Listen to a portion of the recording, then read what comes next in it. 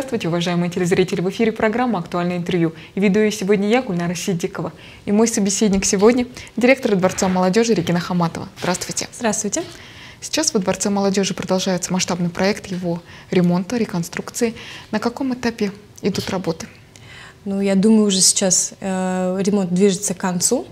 Э, правая административная часть э, здания уже практически завершена. Есть какие-то маленькие корректировки, которые нужно внести. И у нас остается спортзал. Спортзал, э, в принципе, тоже уже практически готов. Э, остались раздевалки к спортзалу, душевые и коридор который ведет к спортзалу. Э, в феврале, я думаю, мы уже будем открывать дворец молодежи. И поэтому всех э, жителей приглашаем на официальное открытие, которое, ну, даты будут еще уточняться и будут описываться э, в газете, в сетях. Мы об этом расскажем обязательно. А если говорить о проекте, который изначально был создан, все помещения, которые вы хотели включить, вошли?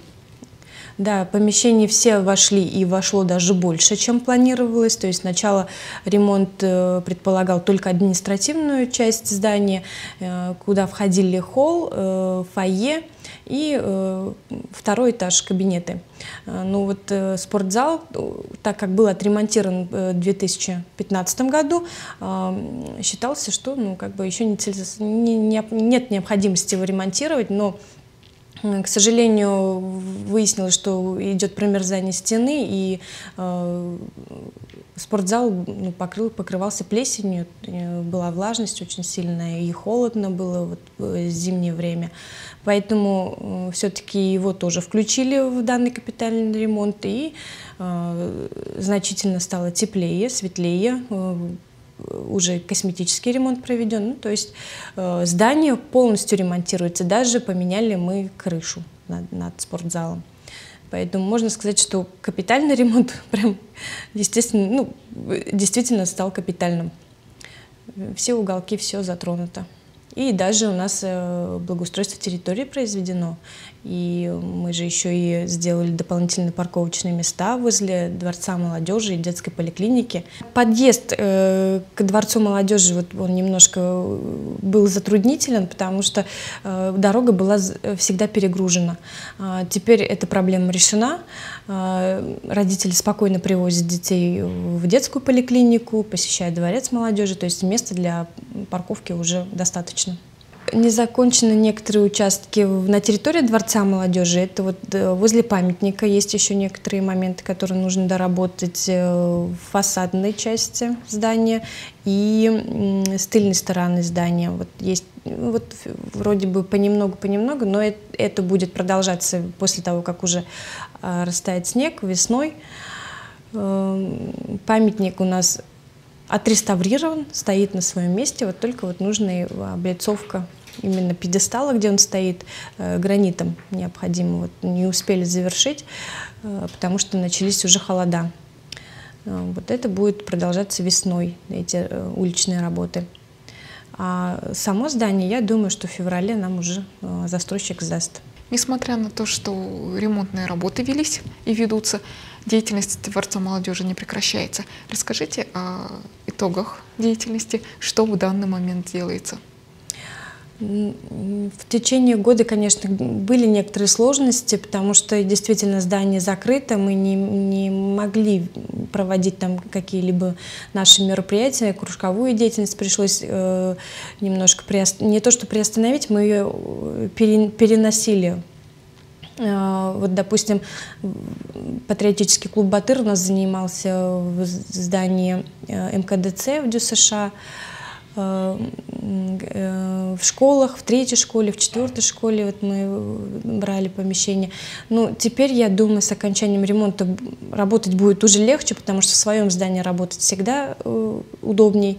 А, кружковая деятельность начнется, и, и даже не кружковая, скорее всего, у нас будет больше опор, упор на клубы по интересам. То есть, э, допустим, в этом году мы хотели художественный вот такой клуб создать, театральный, вокальный, танцевальный, э, где сама же и молодежь будет э, притягивать ребят, другую молодежь, так скажем, и создавать такие клубы.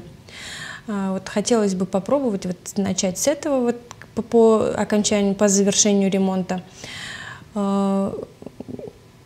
Волонтерские движения у нас, они всегда функционируют, как бы независимо от того, ремонт у нас или нет.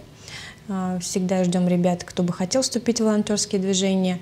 Э, патриотический клуб, юнармия, э, тоже вот э, всероссийское движение, которое набирает оборот год от года, поддерживается президентом России. Движение нужное, важное, поэтому призываю ребят особенно старшеклассников, особенно тех, кто хотел бы дальше связать свою жизнь с военной службой, э, записаться в ряды юнармии. В прошлом году были проведены много мероприятий в новом формате, э, такие как пижамные вечеринки, фитнес-пати, дискотеки, молодежные фестивали. То есть то, что еще вроде бы как бы мы не пробовали в нашем городе Появилась э, молодежь, рабочая молодежь, уже стали э, общаться с ней тесно. Есть, есть предприятия, которые всегда идут на наши мероприятия. Квесты мы проводили в этом году исторические, посвященные флагу России. Э, хорошие провели вообще автопробег, тоже рабочая молодежь участвовала в дальнейшем с уборкой нашего родника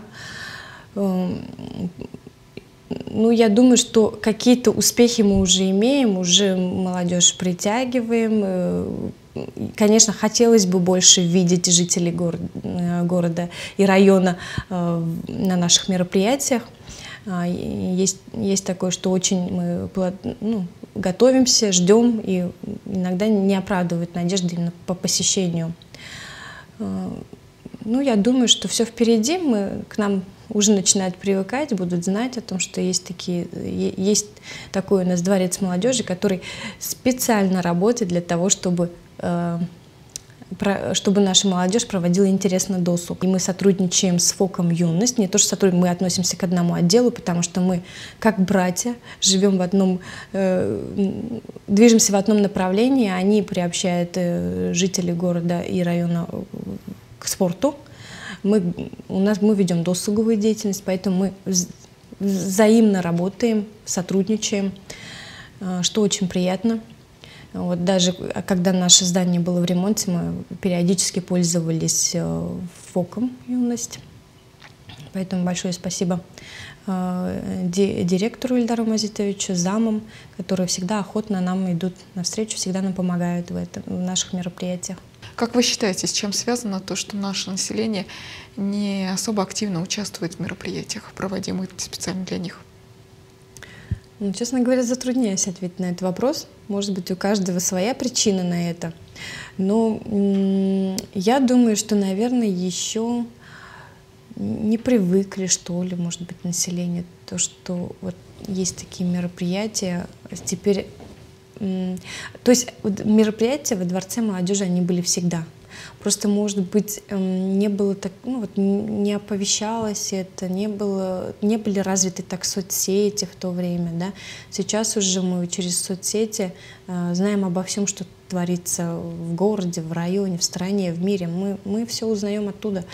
И э, ну, кто-то, может быть, не совсем еще активно пользуется соцсетями, кто-то просто ленятся. Ну, вот есть такой момент, что, наверное, немножко у нас население ленивое. Э, э, вывести на какое-либо мероприятие, это вот даже когда человек иногда вот бывает говорит, да, я приду, или звонит, интересуется, но не доходит. Вот даже бывает так. Может, ну, у каждого, конечно, э, своя жизнь, свои проблемы могут возникать, но активность хотелось бы, конечно, повысить и вот э, обратиться э, к жителям нашего района. Будьте активны, посещайте мероприятия, наши спортивные мероприятия очень интересные проходят. Эм, то есть вот я обращаю внимание, что и, и, в, и в спортивных мероприятиях, и наших вот каких-то таких интерактивных мероприятиях участвуют одни и те же люди, одни и те же семьи. То есть есть определенные э, категории активных э, семей в городе. Вот они ходят везде. очень приятно за ними наблюдать. Там, там дети уже другие, они, они всегда такие позитивные, они радостные. Приятно наблюдать за этими семьями.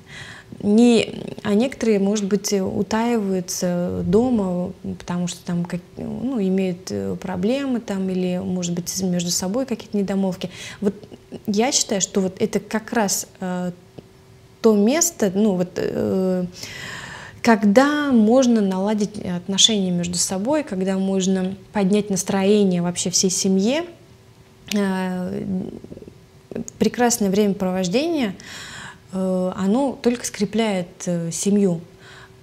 Поэтому дети безумно счастливы обычно бывают, если куда-то с родителями выходят на, на, на, на какую-то вот вечеринку, или это э, лыж, лыжня, или это э, веселые старты. Ну вот, вот я наблюдаю за детьми, и вот действительно эти, эти дети просто скажут спасибо. И родителям нужно обратить внимание на это.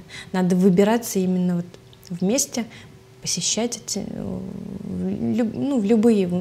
У нас достаточно, я думаю, мероприятий проводится в городе, можно посетить абсолютно любые. И не только нами. У нас э, отдел э, образования, управление образования проводит много мероприятий, э, отдел культуры. Ну, то есть на район работает очень много предприятий, очень много людей для того, чтобы э, наш город был постоянно вот в таких э, движениях, в, в, в каких-то событиях. Э, просто, наверное, э, жители не всегда это замечают. Вообще, как возникают идеи? Идеи, ну, я вообще, наверное, большая фантазерка всегда, всегда ее была с детства. На ходу умела сочинять какие-то сказки. Поэтому я люблю, когда идеи приходят с головы. Обычно я не смотрю в интернете, не смотрю, что делают другие районы. Оно допустим, если нужно провести какое-то мероприятие, просто об этом выходишь, думаешь, и когда-то тебя озарит, и думаешь, а если попробовать это в этом формате? Бывает, что вот случайно какие-то совпадения, ага, оказывается, где-то такое уже проводилось, но это вот прям точно случайно, потому что вот, ну, нет такой привычки, не смотрю, как делают другие. А потом мы делаем э, мозговой штурм, собираемся с сотрудниками, обсуждаем, бурно, э, собираемся с рабочей молодежью, также обсуждаем, э, потом все это соединяем в одно. Ну, то есть это идеи вот такие совместные с отделом, с молодежью, со своими сотрудниками. Ну, э, потому что когда думает над одной вещью много человек, это уже вот какой-то, получается, продуктивное продуктивное мероприятие. Один человек, он, как говорится, в поле не воин. Всегда нужна команда, которая бы э, могла создавать, э, которая могла бы сподвигать даже э, на какие-то новшества. Поэтому командная работа, она всегда приятна, всегда хороша. И вот, вот этот командный дух, командную работу, и вот я бы хотела все время поддерживать чтобы вот собирать возле себя единомышленников, так скажем. Поэтому вот еще обращение к молодежи. Если у вас есть какие-то идеи, если вы э, творческий человек, спортивный, творческий, или ну вот не обязательно даже, наверное, как, иметь какие-то супер таланты, но ну, вы интересующийся человек. Вот мои двери открыты, я всегда готова любого человека выслушать и взять их идеи вот. И уже сейчас э, действительно приходит, обращается молодежь. Вот у кого-то есть грандиозные планы, там, написать какие-то проекты интересные. То есть э, мои сотрудники и вообще Дворец молодежи, мы всегда готовы помочь в любом направлении, развить, развиваться. Если молодежь готова развиваться, мы это только хорошо, благо. Какие-то акценты в деятельности, в планах какие-то направления уже выбраны? В планах, да. После открытия Дворца молодежи, конечно, очень много планов в голове. Э, очень хотелось бы все это реализовать, и всегда хочется все это сделать быстро, но, к сожалению, э, работа достаточно такая объемная, у нас подвижная, и не всегда на все хватает. Э, после открытие Дворца молодежи, ну вот как я себе его представила, намечтала, так скажем, у нас обязательно должны быть клубы семей. Э, клуб, молод... клуб молодой семьи. А у нас э, уже мы сейчас вот э, открываем НКО «Совет отцов». То есть это вот все такое, такая социальная сфера, это семья, это очень нужная э, вещь. То есть это э, молодые семьи мы должны поддерживать всячески, да, э, молодых людей, которые еще э, не женаты, не замужни, э, подводить к тому, что нужно обязательно иметь семью полноценную, с детьми. Вот и, и этот клуб, он как бы должен быть, я думаю, обязательно во Дворце молодежи для поддержания вот именно такого очень значим, важного, а, важной сферы для Башкирии, для Генаула, для России, вообще как э, семья. А потом я вижу такую, ну вот именно клубы по интересам, как я уже говорила, э, допустим, художественные кружки, да, есть люди, которые просто мечтают научиться рисовать, есть люди, которые умеют, но им вот ну, не, негде себя показать, так скажем. Вот это вот как раз э, такой Э, вид деятельности, куда вы можете прийти спокойно и либо показать себя, либо научиться. У нас а, будет эм, девушка, Алина Федосеева вести этот э, э, клуб, так скажем. А, она сама прекрасно рисует, у нее картины выставляются в выставках, она участвует в конкурсах с ними. И рисование, это вот оно ведь не обязательно его брать как какой-то ну, вот это, по сути, это э, деятельность, которая где-то успокаивает, где-то э, сподвигает, потому что вот красивый рисунок, вот его дома повесишь, на него смотришь, и вот душа радуется. Ну, то есть это какая-то и психология с другой стороны. Вот кому-то вот необходимо общение, то есть вот это то место, куда можно прийти и начинать делать то, что, может быть, ты вообще никогда этим не занимался и не думал, что получится. Вот. Нужно себя пробовать, я думаю, везде. Те, вот тан, э, пока есть так, такая загвоздка с танцами, вот э, хотелось бы э, латиноамериканские танцы у нас в Янауле открыть, э, бачата. Э, ну вот что такое новое направление. Было бы интересно мне еще открыть пар, парные виды танцев, опять же, для молодых семей, для молодых пар, которые женились или собираются пожениться. Потом вот э, постарше категория, и, может быть, совсем очень пост... категория так, возраста постарше. Потому что парные танцы, они тоже Э, необходимо где-то вот в парах, даже бывает какие-то, если идут бытовые размовки, танец — это то, что тебя примирит. Тоже психология, с другой стороны. То есть мы охватываем много здесь направлений. Это, это семья, это пара, это психология. Танец, он не просто танец, который мы видим а, на сцене. Это он очень много себе там еще внутри таит. Поэтому, ну, очень много на самом деле э, мечт, желаний. Э, дай Бог, чтобы все это осуществилось, и чтобы э, жителям, чтобы дворец молодежи прямо эм, был постоянно в таком движении, чтобы там было людно. У нас есть, опять же, кинотеатр для того, чтобы поддерживать эту людность. Вот, я думаю, вот тоже было в прошлом году немножко тяжеловато работать в состоянии ремонта, то есть приходилось то закрываться, то открываться, какие-то фильмы материали вот в процессе вот этих вот наших ремонтных работ. Ну, я думаю, э, по завершению уже ремонтных работ мы уже стабильно будем работать. А, ждем наших э, горожан у нас в кинотеатре, и не только горожан, гостей. Я думаю, что мы ничем не уступаем кинотеатрам ближайших городов. Тем более впереди у нас э, открытие кафетерия кинотеатру. Тоже это отдельный вид деятельности, сложный, конечно, будет, но я думаю, что мы вытянем, сможем сделать такой кафетерий, который бы ну, полностью удовлетворил потребности наших э, жителей нашего района.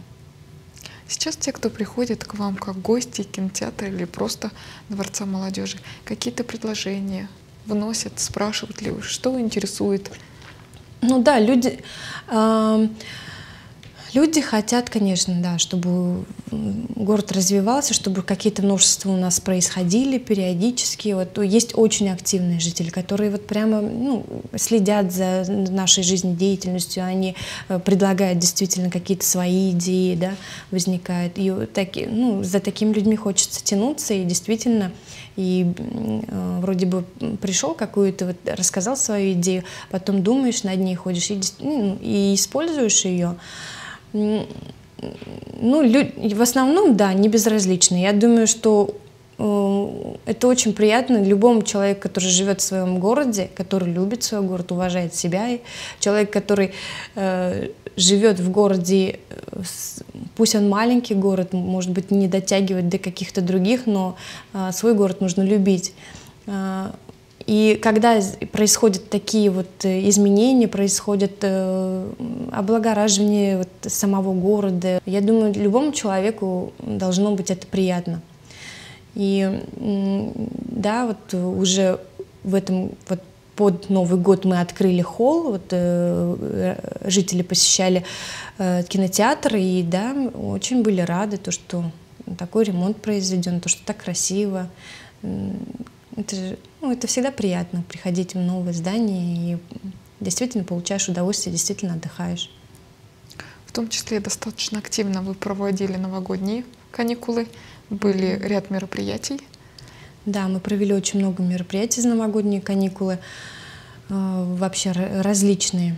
Э, опять же, мы пытались захватить вот эту Э, тот контингент, вот именно семейный, молодых семей, а, проводились все веселые старты, э, фестиваль вот прямо в Дворце молодежи, на территории Дворца молодежи провели э, фит, вот фитнес-пати нового плана была вечеринка, куда пришли как раз-таки родители с детьми, я думаю, что это было им интересно, надо развиваться в этом направлении. Пока мы, конечно, собираем не, не столько народу, сколько хотелось бы. Ну, я думаю, что в дальнейшем когда уже э, потихоньку привыкнут у нас люди, что такие вот мероприятия стали проходить, уже будет посещений больше. А еще, что очень приятно, с нами охотно сотрудничают индивидуальные предприниматели вот в таких мероприятиях. Они, ну, это им тоже как бы э, хорошо, они и себя показывают, и, и обогащают таким образом разнообразием э, наши мероприятия. Э, мероприятий было много, по-моему, вот даже более 15, и, и все-таки охват мы сделали хороший за, за, этот, за новогодние каникулы. Стараетесь вовлекать возрастную категорию только молодежи или все-таки разных возрастов? Ну, задача э, отдела молодежи вообще, как Дворца молодежи, это охват э, Э, категории молодежи, именно от 14 до 35 у нас вот сейчас она считается, даже до 30. Но мы уж немножко подвинули этот возраст до 35. Конечно, мы не ставим таких вот рамок, что вот нет-нет, вот к нам вот только вот такая категория. И, и детишек мы всегда рады видеть, и взрослых, более взрослых людей. И дело в том, что э, человек, которому за 35, он может быть абсолютно молодой и энергичный, и ему ну, приятно посещать наши мероприятия, и он сотрудничает с нами там. Ну, то есть нет жестких рамок, но э, просто вот как бы э, в отчетах, вот в министерстве мы же даем отчеты, каждый раз проведенное мероприятие мы отчитываемся своему министерству, мы указываем именно охват вот этой нашей категории. А э, вообще охват может быть абсолютно раз, разных возрастной категории. Мы всех всегда рады видеть. Да, даже в этом году нам ставили задачу, чтобы мы проводили кружковую деятельность для э, пенсионеров. Мы вот пока, пока это было сложно, вот опять же в стадии нашего ремонта, но я думаю, что мы что-нибудь придумаем для пенсионеров. Во Дворце молодежи уже функционирует вокальный кружок. То есть это не, не скорее клуб по интересам тоже. А, кружок Э, не как вот в школе искусств, где вот вас будут учить нотам, будут, э, ну, где вы будете играть на определенных инструментах, хор, сольфеджи и так далее. То есть это немного э, более, намного упрощенная версия вокала, так скажем, где вы можете выбрать себе песню, где будет стоять над вами вокалист, который будет вам ну, примерно показывать, рассказывать, как, где что, где какую нотку подтянуть, где э, э, спеть там на таком дыхании. Там.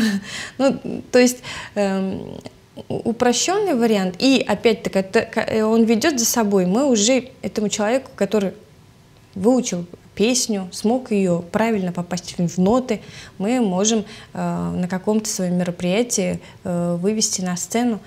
Э, некоторые люди вот мечтают о сцене, не знают, как, как в нее попасть. Вот опять же, Дворец молодежи именно тот э, путь, который э, к тебя проведет в сцену. А, и хотелось бы создать уже молодежные группы, ансамбли. Может быть, это будут ансамбли из студентов, или старшеклассников, или рабочей молодежи. А, у нас же есть в городе гитаристы. И вот хотелось бы их всех собрать, сделать хороший ансамбль. А, пыталась я их искать. Ну, а есть, конечно, есть немножко э, постарше, чем наша вот э, категория молодежи, но пока вот э, люди или стесняются, или вот, ну, присматриваются, может быть, даже э, к нам. Пока не дошли.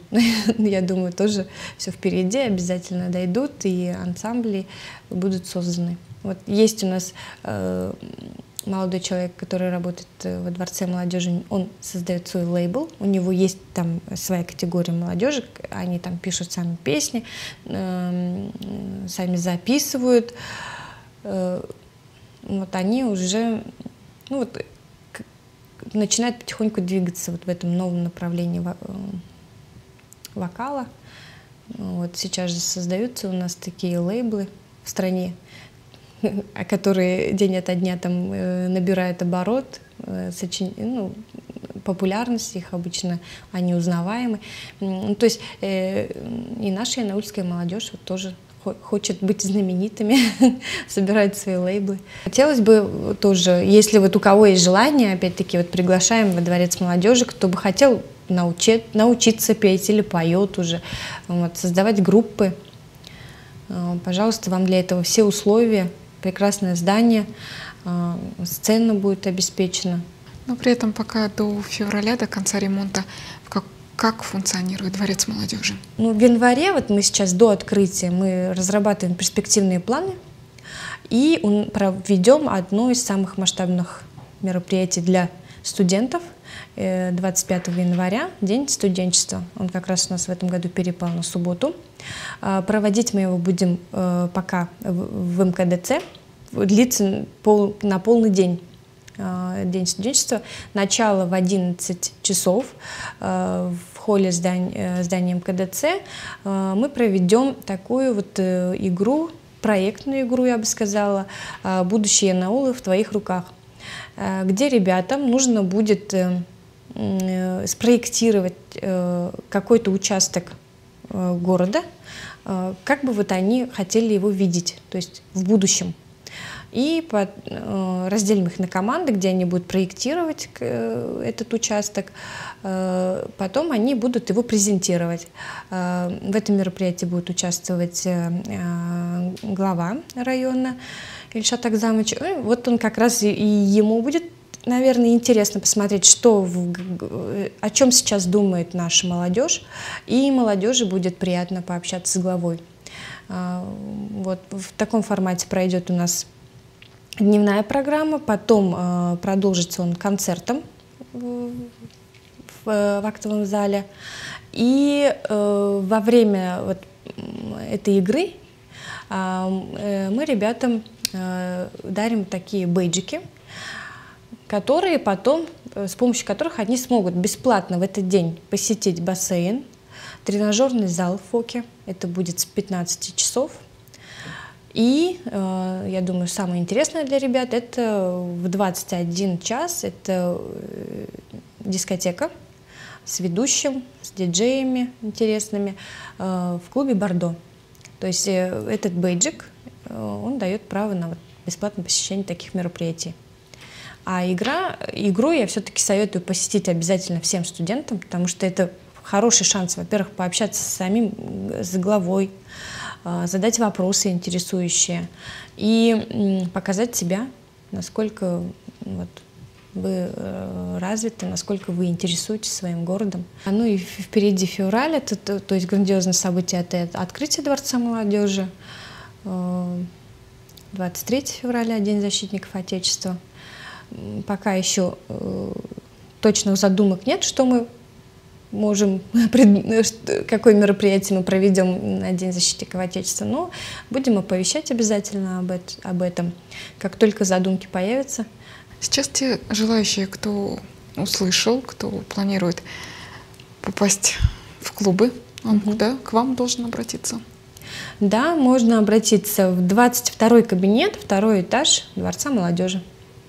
Вас там запишут. Можно, э, у нас есть э, группа ВКонтакте, можно туда написать сообщением, можно позвонить по номеру 50122, то есть любые способы. Время нашей передачи подошло к концу. Спасибо за беседу. И напоминаю, на мои вопросы сегодня отвечала директор Дворца молодежи Регина Хаматова. Спасибо за внимание. До свидания.